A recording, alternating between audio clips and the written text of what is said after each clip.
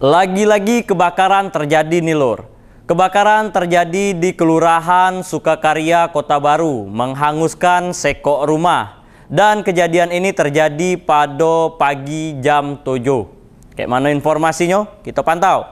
Di pantauan Bang Jack. Kebakaran kembali terjadi di kota Jambi. Kali ini terjadi di perumahan Pal 6 Permai, Jalan Kopral Sulaiman RT 8 Kelurahan Sukakarya, Kecamatan Kota Paru sekitar pukul 7 pagi waktu Indonesia Barat. Menurut keterangan dari Kepala Dinas Damkar Kota Jambi Mustari Afandi, pihaknya menerima laporan kebakaran tersebut pada pukul 7.11 pagi waktu Indonesia Barat. Tak membutuhkan waktu lama, ia bersama timnya langsung bergegas menuju titik lokasi kejadian yang hanya memakan waktu 6 menit. Mustari mengatakan dalam pemadaman tersebut, timnya menurunkan sebanyak 4 unit mobil damkar dengan 35 personel dengan waktu pemadaman sekitar 50 menit. Diduga penyebab terjadinya kebakaran tersebut berasal dari benda elektronik yang sudah rusak, namun masih menempel di colokan sehingga menyebabkan terjadinya konsleting arus pendek. Untungnya, dalam kejadian itu tidak ada korban jiwa karena rumah tersebut dalam keadaan kosong ditinggal pemilik.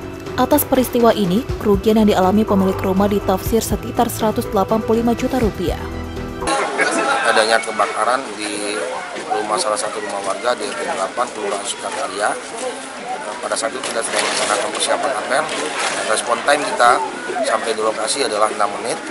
Alhamdulillah eh, tidak ada satupun eh, kita dapat memprotek rumah kiri kanan dan yang sangat disayangkan memang pada saat ini tidak ada orang yang tinggal di rumah. Memang rumahnya rumah kosong rumahnya bukan kosong tapi ditinggalkan oleh uh, penghuni karena bekerja.